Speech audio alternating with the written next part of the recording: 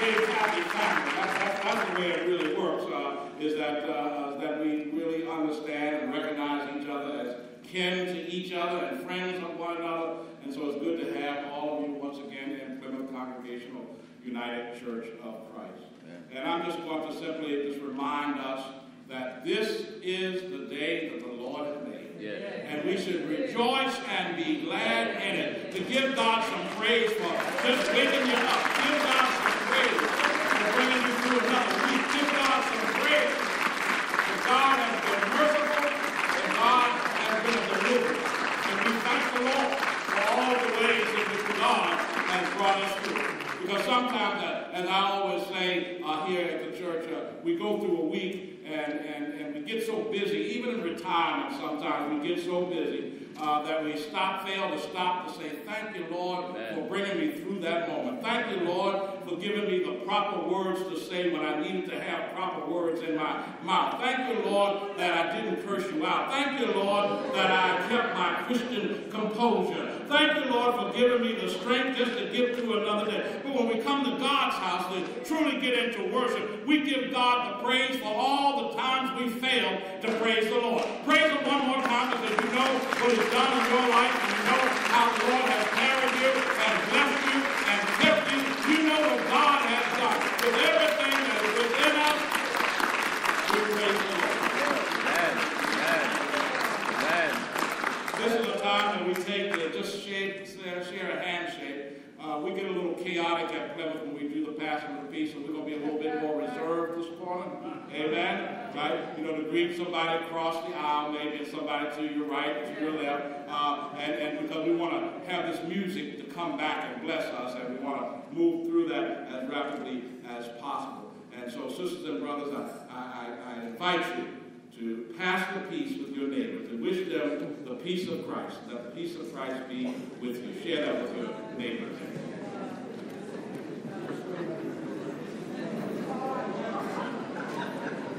brother. Stab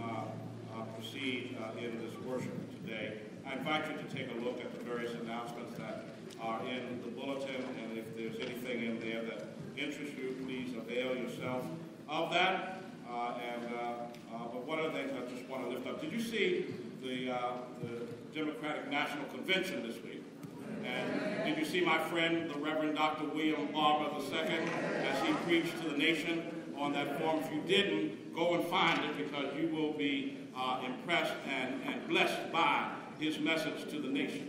Uh, he's been our revivalist a, a, number of times, and we've also traveled uh, to his church, uh, uh and, on, and, and, we have uh, been in communion. But one thing I want to point out is that you heard them mention during that Democratic National Convention that they were doing a 50-city tour. A 50-city tour, Reverend William Barber, uh, Reverend James Forbes, Pastor Emeritus of Riverside Church, and, and also Traci Blackmon, uh, the acting executive uh, minister of the United Church of Christ. And they're coming to D.C. Uh, in August. And I'm serving as the organizer for them to come to D.C. And we're going to have uh, a all-day training. So if you're able to come to an all-day training from 9 to 5 on August the 12th uh, at Michigan Park Christian Church, uh, that's at South Dakota and Taylor Street. and then we will have our Justice Revival on August the 28th which is the anniversary of the 1963 March on Washington.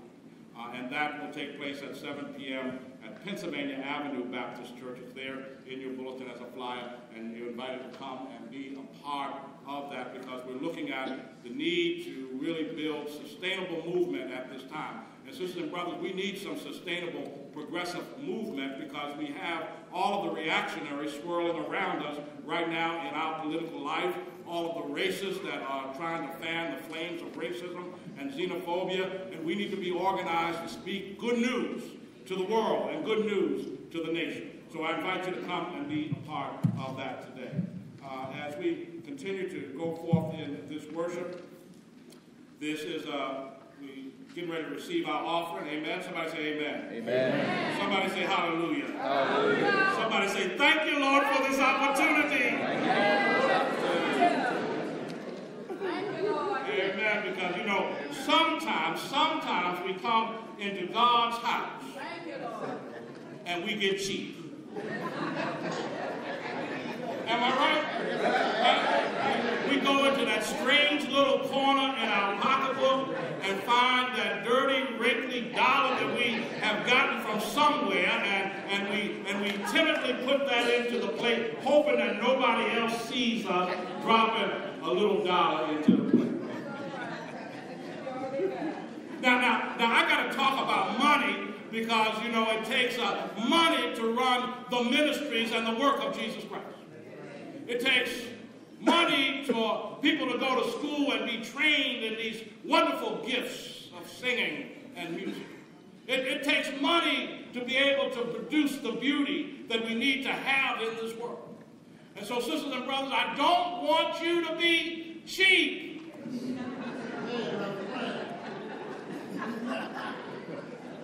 Amen. I want to see, I want to see, you know, we make confessions to the Lord. Amen. I want to see every cheapskate in the room raise their hand.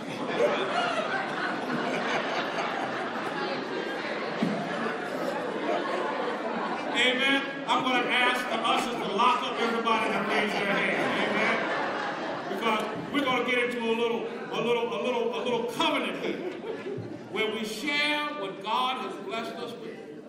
Because you know, when we give, we're simply being stewards. Because all that we have, we really don't own anyway. That's right. We've been blessed. God has blessed us. Yes, he has. God has provided. Yes. Do I have a witness? Amen. Amen. Amen. That God has blessed us at times when we weren't even deserving of the blessing. And so how much, how much do you give in return? How much, what does a grateful heart look like? What does a life that has been saved look like? So sisters and brothers, I want you to not be that cheapskate, but be a faithful giver and give with a joyous heart. I'm going to ask our trustees to come forth to prepare to receive those offerings. In addition, we have a second offering today, and the second offering the deacons will lift up because it goes to the benevolence fund of our deacons uh, and of the church to allow us to be of service to people who may be going through some rough times. So please be generous with that as well. But please, please, please, please be generous with your tithes and your gifts and your offerings. Amen. I'm going to ask uh, Minister Jason Wilson will come forth and lead us in our offering. Yes? Oh, yes. Okay. Before we do that, I'm going to invite the July Calendar Club to come forward on this you want to come forward, and we can make your presentation and we can put that into our.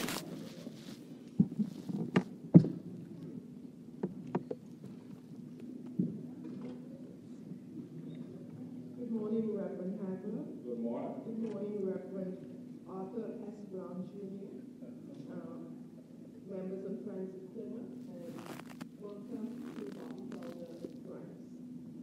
I am Lily Mae Johnson, co-leader of the July Calendar Club, along with Deacon Gloria. Now, with all members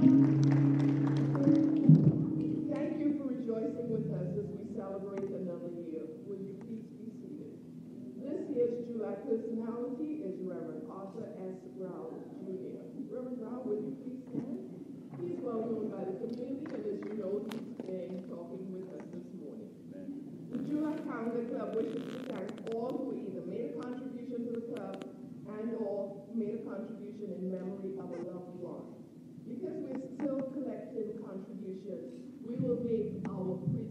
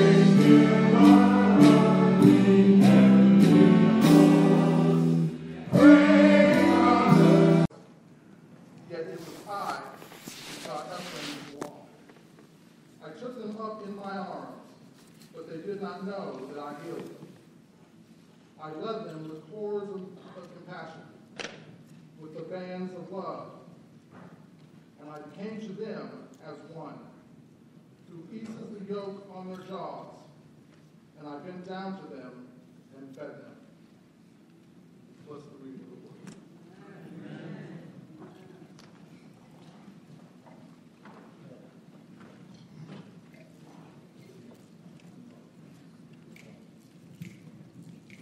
word.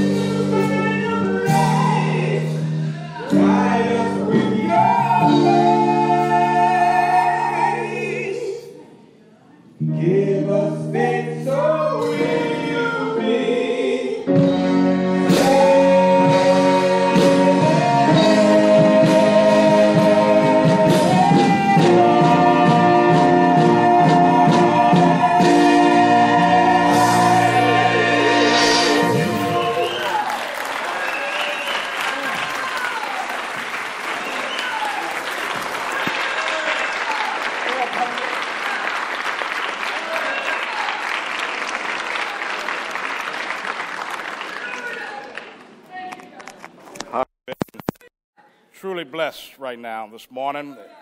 We've been blessed in such tremendous ways. And uh, to hear and feel the Spirit in this sanctuary is to know that God is alive and God is in the midst of all of our hearts. And I want to just come and just focus for a second upon this text uh, that Minister Wilson lifted up from Hosea.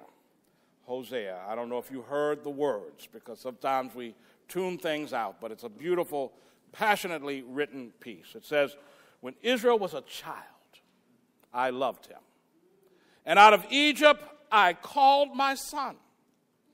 But the more I called him, the more he ran away from me.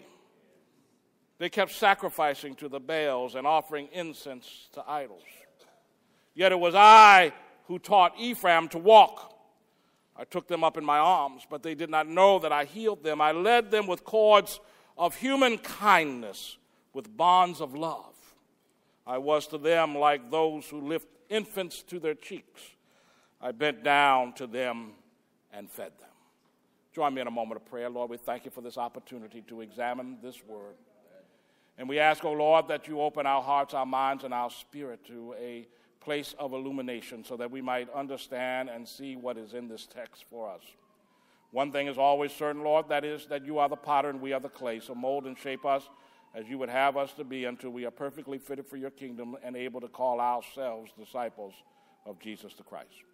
Now, as we come to this teaching moment, Lord, you hone it, you shape it, you develop it, you send it forth as you see fit. Allow it all to be pleasing and acceptable in your sight, our Lord and our Redeemer. Amen.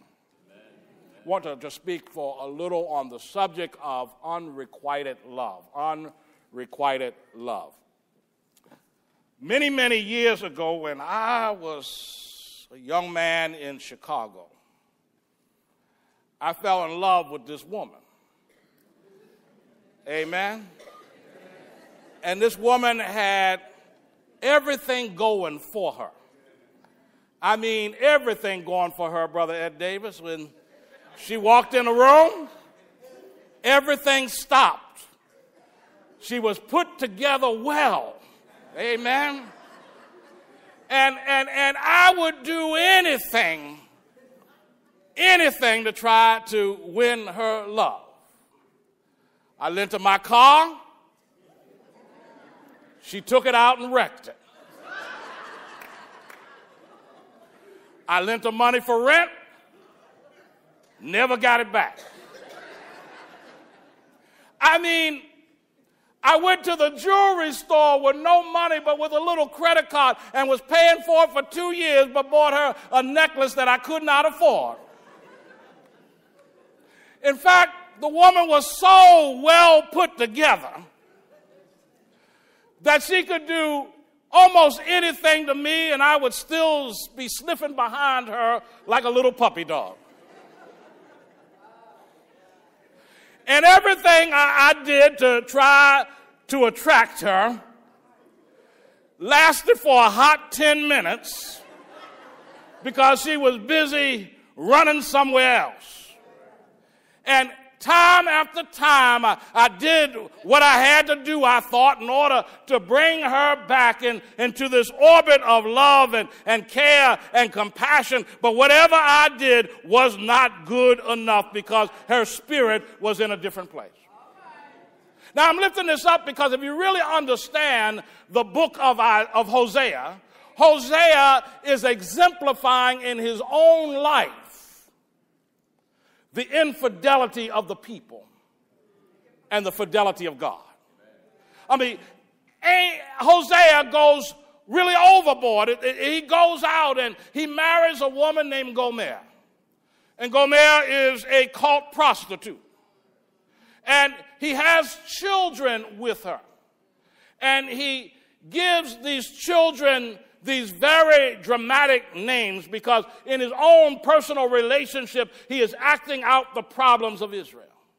To one of the children that is born, he says, Your name is going to be Lo-Ammi, for you are no longer my people, and I am no longer your God. And to another child, he names Lo Ruhamah, which means not pitied, for no longer will I have pity upon you. Uh, and, and you can hear God's pain in all of these names that are being assigned to these children. And the other child was named Jezreel for the crimes that were committed, committed in the valley of Jezreel. There was a coup, you see, against King Ahab carried out by Jehu, and there was severe bloodshed in the valley of Jezreel. And so he named a child Jezreel. And in that text, uh, uh, uh, Gomer continues to run away from Hosea. And Hosea continues to pursue her and bring her back. Hosea showers her with gifts and loving kindness and everything that you can imagine in order to hold Gomer in the orbit of his love. But no matter what he does, it's not good enough. No matter what he tries to show, what he tries to demonstrate, it's just not good enough. She continues to run away from the bond of love. Now, I, I, I, I, was thinking that's our problem. We run away from God's love. We run away seeking everything else and trying to get over, trying to get over quickly, trying to do our own corner cutting in order to try to put our lives together without having God at the center of our existence. We are just as uh, uh, uh, uh wanton hearted as Gomer is. No matter what God has provided, we, we are thankful for that today and we've forgotten all about the gift and the blessings tomorrow. And what we're being reminded of here is that no matter what our heart is, where our heart is, God is still pursuing us. God is still trying to call us back home. God is still trying to surround us in God's love and passion and compassion. You can hear in this text the painful heart of God. God is saying, Do you remember I raised you up? I taught you to walk. I showered you with the gifts of life. I poured out my heart. And, and you can hear God saying, No longer I'm going to have pity because that's a hurt heart. No longer are you my people, that's a hurt heart. And it kind of reminds you not only of God's loving relationship with us, but sometimes it reminds us of a parent's painful relationship with us. You know, that parent that had hopes for us, that parent that had expectations for us. But, you know, we ended up as we moved into adolescence and into young adulthood, we wanted to do it our way. We wanted to have our own independence. We wanted to uh, have our own autonomy. We didn't want anybody to tell us what to do. And, and, and then uh, one day, thank God, maybe we came back home with our tails tucked between our legs. And, and then we found out what unconditional love was like that there was somebody to receive us back home. There was somebody that said, I don't care where you've been. There was somebody that was able to say, I don't care what you've been through. I don't care what the world labeled you or called you. You are still my own. And I bring you back into the bond of love and forgiveness and healing and wholeness. That is what God is. Somebody ought to say hallelujah if you know what God is, because everybody sitting up here is not all holy and sanctified and haven't been that all your life. If you're like me, you got some sin in your background. If you're like me, you got some hurt in your background. If you're like me, you got some pain in your background. If you're like me, you've gone down some wrong roads. But thank God that there is a God. Thank God that God is merciful. Thank God that God is loving. Thank God that we are able to come home into the presence of the Lord. Somebody need to thank the Lord today because you know where you've been. You know what you've done. But thank God there is God. Oh. If I was to tell you my stuff, I'll be still trying to get your chin up off the floor if I was to tell you my stuff. And you see, sometimes you can't tell other people your stuff. I'm going to be truthful because sometimes people will use what you're going through to hurt you and not help you. But thank God that even in those moments, I can go to God. He already knows all about it anyway. No matter how I dress it up, no matter how I try to justify it, God already knows about my stuff already. God already knows that I'm messed up. God already knows uh, uh, where I've been. God already knows about the dirt behind my ears or the dirt I've tried to clean up and freshen up with some cologne. God already knows.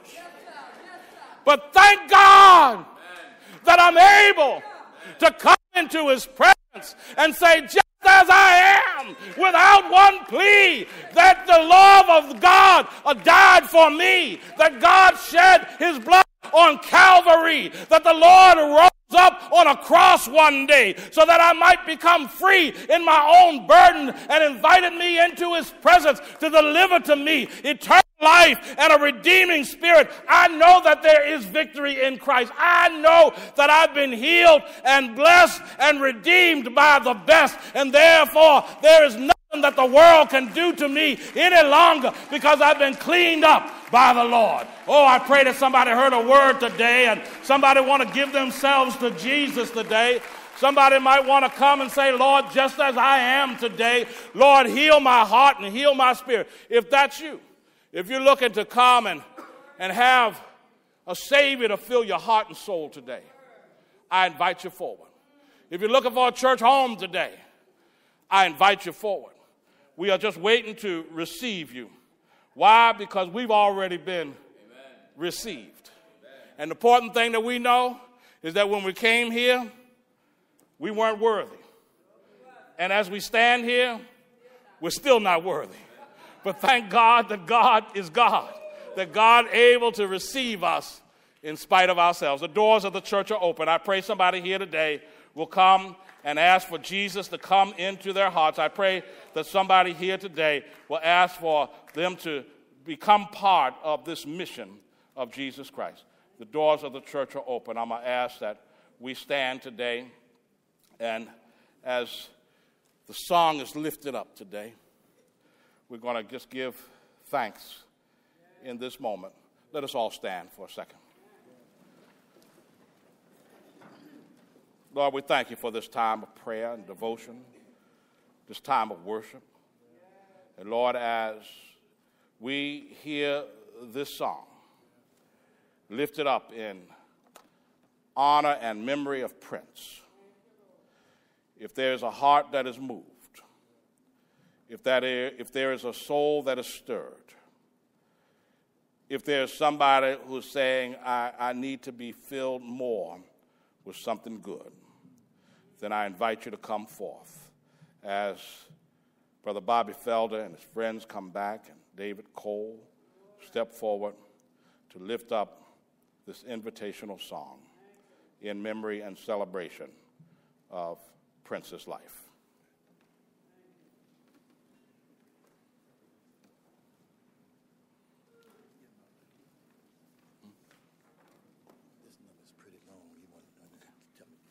You may be seated for right now. You may be seated, and if you feel stirred to come forward during the singing of the song, do so. Before we, ladies and gentlemen, before we do this next song, uh, I came over last week and had a conversation with uh, Reverend Hagler about doing this number. Uh, we thought it would be quite appropriate. We saw the flyer you saw a picture of Prince on our flyer. So Reverend Hagler had the lady downstairs to throw the old flowers away and we do a new flower with Prince's picture on it. And, and say that today we would uh, do a tribute to one of the great, great, great musicians of our time. Uh, fortunately, we have, uh, very, very lucky, we have uh, a gentleman up here who's a long-time friend of mine, one of my students at UDC. Uh, I've followed his career quite a bit, and he's going to do French for me today. His name is David Cole, our guitarist. He not only sings like Prince, but he plays guitar just like Prince. So you should do it for that. I think you, I think you might enjoy our version of Prince's uh, Purple Rain featuring of course, David Cole on guitar, and he's the one to also do the vocal. Thank you.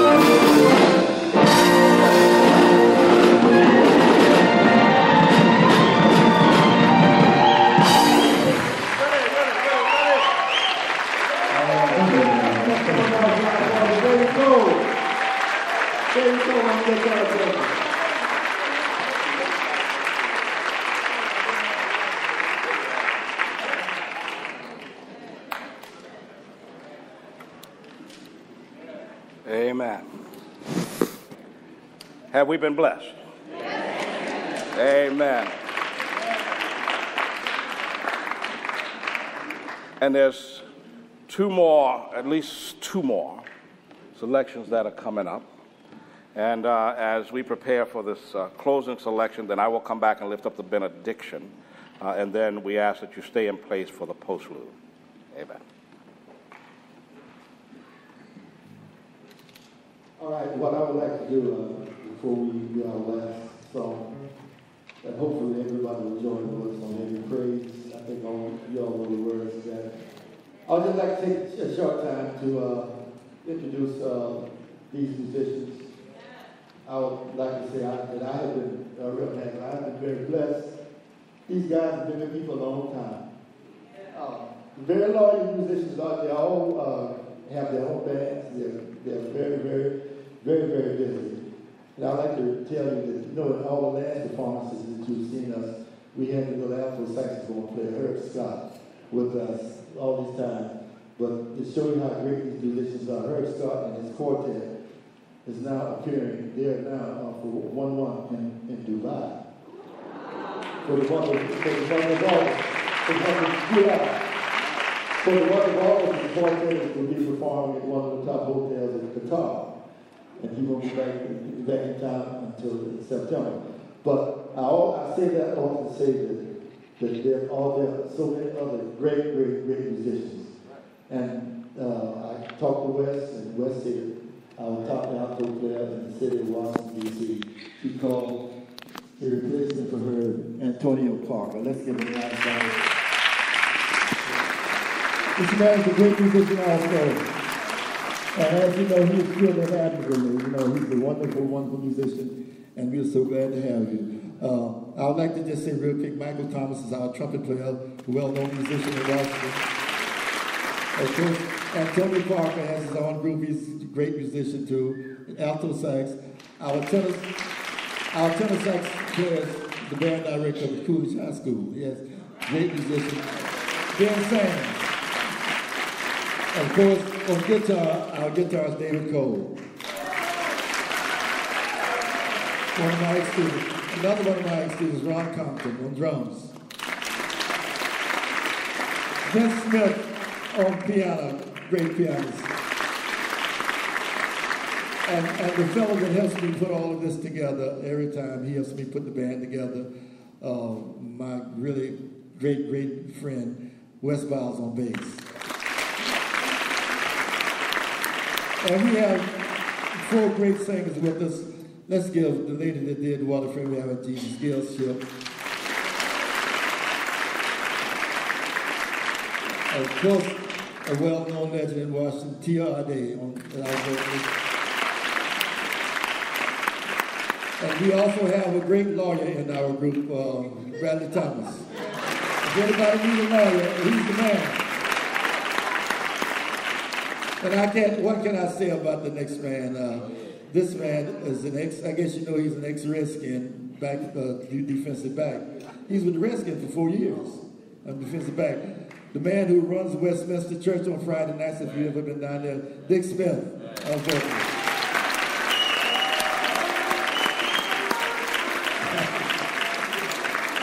And, and of course, we cannot do all of this without uh, uh, you aren't as good as the sound that you hear. And our two sound people, my son Ronald Felder and Willie Gardner. Uh, they're wonderful. And so I want to introduce and say we want to all thank Bobby Felder for bringing us all together. How about it for Bobby? Okay. Yeah. All right, now we're going to uh, we're going to do uh, uh, we'll do our flower as you're leaving. But uh, our last selection, we'd like to have all of you joining with us on doing this every praise. I think I think you'll enjoy this every praise.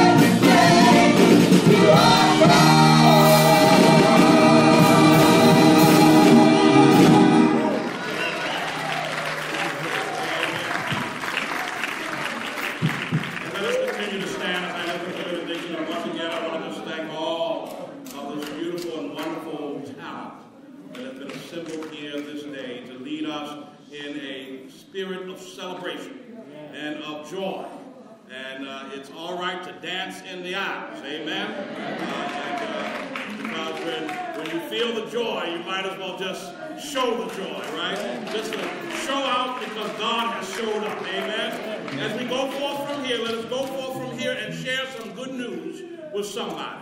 To recognize that we might be the light that somebody might see this week. And so let the light shine in us. Let the light shine upon the world. Let us bring the good news of hope and joy and love. Let us stand against the divisions in this world and call for a unity of love and a spirit of justice. This is what we pray for. In the name of the Creator and the Son, Jesus Christ, and the Holy Spirit. Amen, amen, and amen.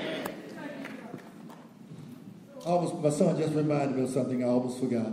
Uh, a lot of these songs that we, we're doing today, we have on the CD Amazing Grace, a very, very good CD. It's just for ten dollars. Um, if you if you want to buy two or three or four or five of them, this is an ideal present for your beautician, your barber, your grocery store, anybody you know that you your good friend. It's a good present. They'll be on sale up here. It's just ten dollars. Amazing Grace is the name of the CD. So if you would like one, please come up after this over. Okay. We'll close out with I'll Fly Away.